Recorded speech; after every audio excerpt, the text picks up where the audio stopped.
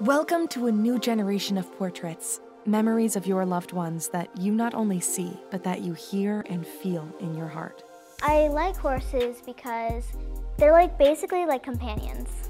Like they're always like there when you like just walk up to the pasture and they're there.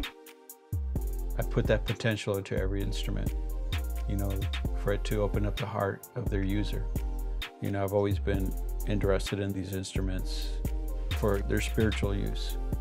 At DLH Media, we produce emotionally captivating short films that showcase the unique passions and personalities of your loved ones so that you can vibrantly remember their wholeness and feel their essence forever. And I, I all started laughing and give her a big hug and all that kind of stuff. Book today at dlhmedia.art to get your own living portrait.